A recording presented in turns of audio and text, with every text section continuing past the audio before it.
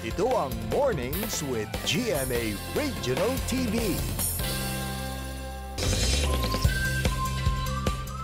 Mga kapuso, ang sampagita bilang ah, isang simbolo ng ating bansa ay larawan ng kagandahan at ang halimuyak nito na nakakahalina good vibes ang hatid sa umaga. Pero alam nyo ba ng ating pambansang bulaklak, pwede rin palang gawing ah, flavor ng ice cream. Ice cream? Opo, Sampaguita flavored ice cream. Para dito, kasama natin ang Sampaguita ice cream maker na si Delma Sampaga mula Manawag, Pangasinan. Masanta si Kabusan, Ma'am uh, Delma, and of course, welcome po sa Mornings with GMA Regional TV. Morning po. Welcome. Kumusta po ang umaga natin dyan, Ma'am Delma? Ah, mabuti naman, sir. Magandang umaga. Well, Ma'am Delma, nakakamangha po yung paggawa po ninyo ng kakaibang ice cream. Sampagita flavor. Saan niyo ba nakuha yung idea na yan upang gawing uh, ice cream flavor ang ating napakahalimuyak na sampagita? Ah, sir, ano, may ano, namasyal dito, may bumisita. Then sabi niya, maka, gusto niyang tikman ang ano, ice cream namin. Ah, lahat po ng flavor, tinikman niya.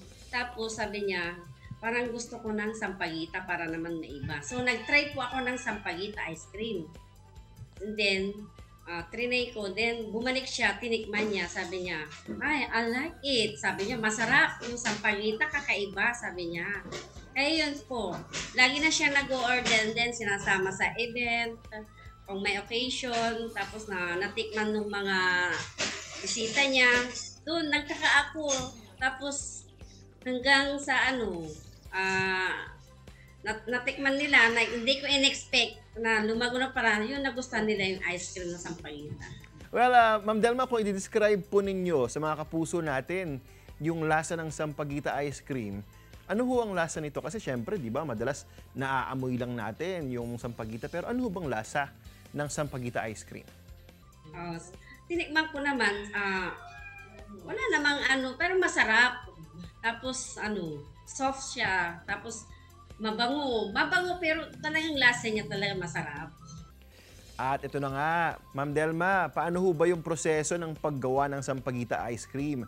Maaari niyo ho bang, ah, kumbaga, ilatag sa amin kung paano po yung ah, procedure ng paggawa ng ice cream. Pero syempre, huwag i-reveal ang secret ingredient. Okay. So, the umagang umaga, ah, bumibili na ako ng ano fresh na sampagita, doon mismo talaga sa may ano ah, puno niya. Then, ah, pakulan ko siya ng medyo konting manigamgam. Tapos doon na po, de-blender ko. Then, halo-halo, halo-halo. Yun lang po. Ayun, talagang fresh pala no, na sampagita yung nilalagay natin. Pero Ma'am Delma, matanong ko lang, no, paano kapag hindi panahon ng sampagita? Ano pong uh, flavor ng ice cream yung ginagawa po ninyo? Marami, sir, marami. Iba't ibang flavor. Gaya ng ano, hindi nawawala mga che, OB, cookies and cream, lahat po. And then, tsaka yung malunggay. Hindi po nawawala po yun kasi andyan lang sa kapaligiran. Well, Ma'am Delma, tara na't anyayahan ang mga kapuso natin sa iba't ibang panig ng North and Central Luzon at uh, kahit nasan man sila ngayon upang matikman ang uh, sarap ng uh, Sampagita ice cream. Lalong-lalo na pag mapapadpad sila dyan sa Manawag, Pangasinan. Ah, mga kapuso, ah, pag namasyal po kayo dito sa Manawag, punta kayo dito para matikman nyo yung kakaibang sarap ng ice cream namin. Lalo na yung bago namin flavor, sampagita po. Ayos, yun. Maraming salamat po, Ma'am Delma, of course. Sana matikman namin very soon ang masarap na Sampagita ice cream. Thank you, sir. Thank you. Welcome po dito. Opo, maraming salamat.